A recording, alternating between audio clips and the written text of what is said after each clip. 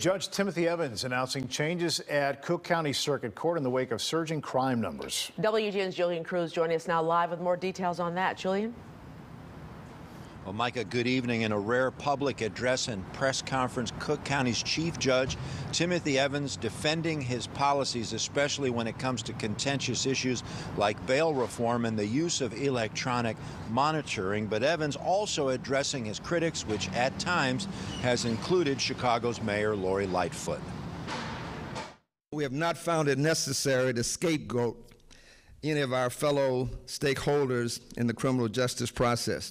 Cook County's chief judge urging Mayor Lori Lightfoot, Cook County State's Attorney Kim Foxx, and CPD Superintendent David Brown to work together. Pointing fingers at each other is not going to solve the problem. Judge Timothy Evans defending his judges and the difficult decisions they make on a daily basis. Our judges are under enormous pressure on these pretrial issues.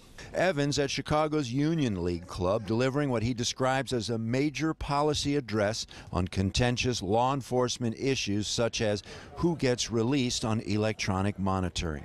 That whole process is changing. Chicago Mayor Lori Lightfoot, amidst the highest crime rates in decades, publicly calling for a moratorium on electronic monitoring for those charged with weapons violations or violent crime. The request rejected by Evans on constitutional grounds.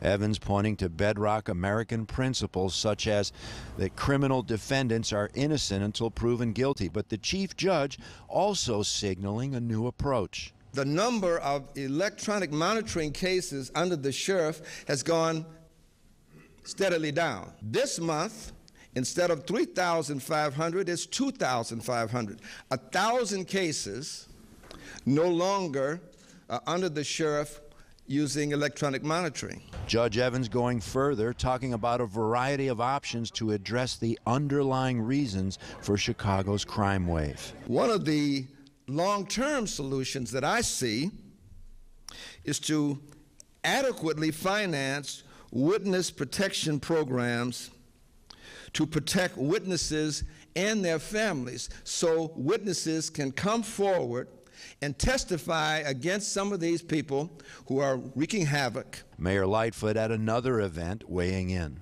We have been in conversation, um, the, the, collective we, um, with the chief judge and folks from the county uh, for quite some time about the need not to just dump people back out on the street, and particularly young people, but that we need to make sure that they are provided with um, the host of wraparound services that are now available Judge Evans says that his team is working to make things better. They are currently in the process of analyzing public safety assessments. That's a tool used by judges to determine whether or not an, an individual is eligible for pretrial release on electronic monitoring. In the loop, Julian Cruz, WGN News.